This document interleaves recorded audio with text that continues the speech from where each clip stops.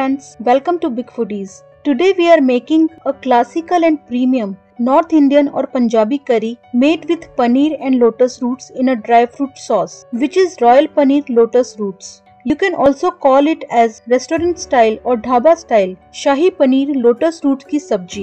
This Shahi Paneer Lotus Roots is deliciously rich and creamy, making it one of the most popular recipes in Mughlai cuisine. Scoop this vegetarian curry up with hot paratha, naan, roti or rice and you will love it. Before checking the recipe, please subscribe to Big Foodies by pressing the subscribe button to get more delicious recipes and never miss a video from Big Foodies and hit the bell icon to get notifications about new recipes. Let's check the ingredients now to make super delicious Shahi Paneer Lotus Roots for your family and friends.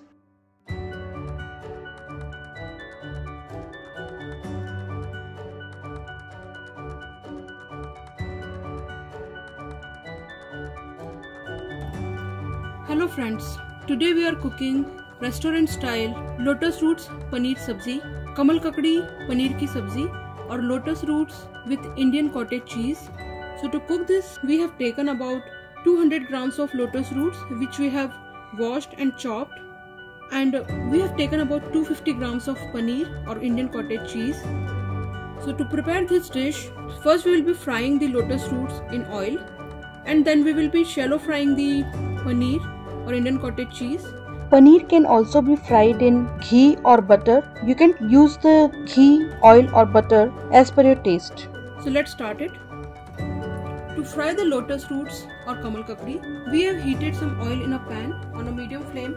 Now we'll be adding the pieces of lotus roots in it. We'll be frying these lotus roots until they are tender and soft. We don't need to make them crispy for this recipe. We just need to make them soft just stir them occasionally while shallow frying. So after frying for uh, 5 minutes, just flip the lotus root on the other side so that the other side is also roasted nicely.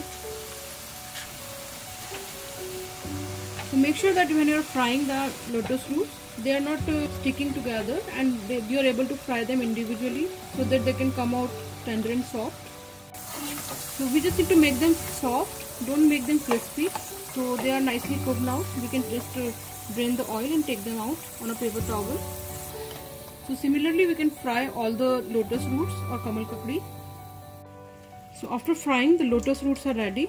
And now we can just keep it aside and then we'll use it to make the lotus roots paneer ki sabzi. So we have also chopped the paneer in the big size pieces like this and we'll be frying them in the same oil. So we are putting one piece at a time and then frying it so we just need to fry it uh, light brown on both the sides. After roasting the one side, just flip it over to the other side. We don't need to fry it too much, just fry it light brown. So once the paneer is fried light brown on both the sides, just take it out of the pan. Similarly, we can fry the rest of the paneer or Indian cottage cheese. To make the gravy for lotus roots paneer ki sabzi, we need to take one big size onion and half of the onion we will be blending in the blender and half we will be slicing it. So we have taken half big onion in the blender along with some green chilies. You can take the green chilies as per your taste. Now add about half cup of uh, cashews or kaju in it. Now add about 3 to 4 tablespoons of water. It will help in the blending process. Now we'll be blending this into a smooth paste. So now we have blended the onions and cashews along with some green chilies in the blender. Now let's fry the lotus roots paneer ki sabzi. To fry the gravy, we have taken about uh, 5 to 6 tablespoons of oil in a pan. We can also use ghee or butter for frying Shahi Paneer lotus roots. You can use the ghee, oil or butter as per your taste. So once the oil is hot, add a pinch of asafoetida, about 2 to 3 teaspoons of cumin seeds. We can also use Shahi Jeera instead of regular Jeera in this recipe. Allow the cumin seeds to roast nicely. Add 2 cloves, some bay leaves, 4 green cardamoms which we have opened before adding it, some whole black pepper and about 1 inch of cinnamon stick which we have broken in small pieces. Now roast these whole spices for a minute so that the oils of the whole spices blends well into the oil. These whole spices will really give a nice flavor and taste to this recipe. So don't skip them. Once the whole spices are roasted, add the grated ginger. So we have taken about 1 inch of grated ginger here. Some finely chopped garlic. So we have taken about 7 to 8 garlic cloves here which we have finely chopped. Now roast the garlic and ginger nicely until golden brown. Stir them. Keep the flame on medium while you're cooking. Once the ginger and garlic are roasted nicely, add the onion paste that we have prepared.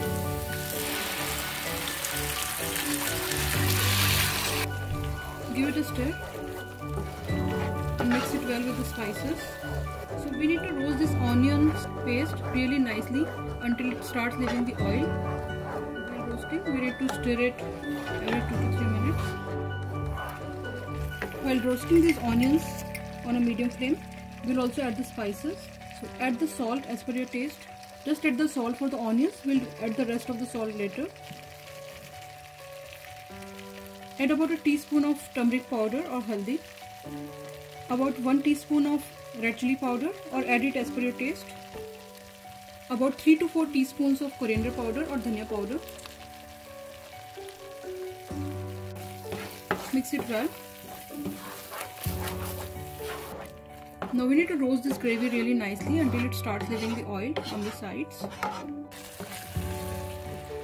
After roasting it for 5 minutes, add this half sliced onion. Mix it.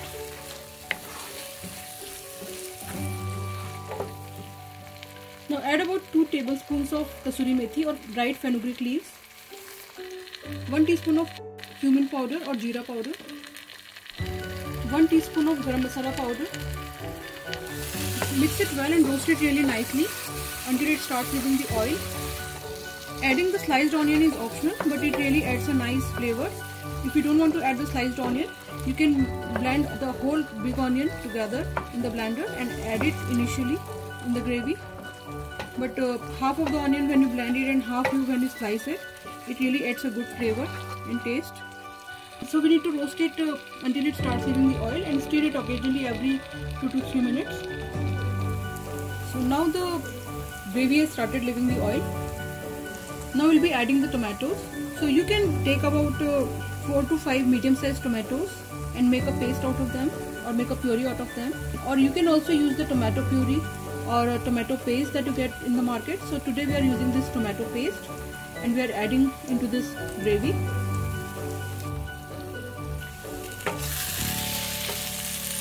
Now add some water as per the consistency of gravy you want. Because the tomato paste is very thick, so we need to dilute it with the water. So initially we have only added the salt for the onions. Now add the remaining salt as per your taste. Mix it well. After mixing it, add the fried lotus roots or kamal kakdi so we are adding the lotus roots at this time because uh, flavors of the spices will blend well with the lotus roots if we add at this point. Now chop this fried paneer in the cubes and we will add this paneer too into this gravy. So we'll be chopping it like this. Like this you can make the cubes of the paneer. Now add the fried cubes of the paneer too into this gravy. Mix it really well. After mixing it well, cover it with a lid and allow it to cook for at least 10 minutes on a medium flame and stir it occasionally in between so that the tomatoes are also cooked nicely because we did not cook the tomatoes here too much. So allow the gravy to cook nicely so that the flavors of the spices blends well with the paneer and the lotus roots. So we are cooking the lotus roots paneer ki sabzi for about 10 minutes. Give it a stir. So you can see that how beautiful and delicious it is looking. Now at this point we'll be adding about one and a half to two cups of milk here. It will add nice texture to this recipe. Now mix it well. If you like the taste of saffron, you can add saffron with the milk at this point in this recipe and also you can also substitute the milk with the milk cream. So if you're adding the milk cream, you can add it as per your taste. After adding the milk, cover it with the lid again and cook it for 10 minutes on a medium flame and stir it occasionally in between. So we are checking it after 10 minutes. Give it a mix. Garnish it with finely chopped coriander leaves or cilantro. Add a generous amount of it. Mix it well. So our delicious and tempting restaurant style lotus roots paneer ki sabzi is ready and now we can serve it. So friends we have served the restaurant style lotus roots paneer ki sabzi and this sabzi tastes really delicious and yummy. You can have this sabzi with roti, paratha, puri rice, tandoori roti or naan. So enjoy this sabzi with your family and friends. Try this recipe and if you like it, please subscribe to Big Foodies for new recipes every week and never miss a video from Big Foodies. Like and share this recipe. Thank you so much for watching.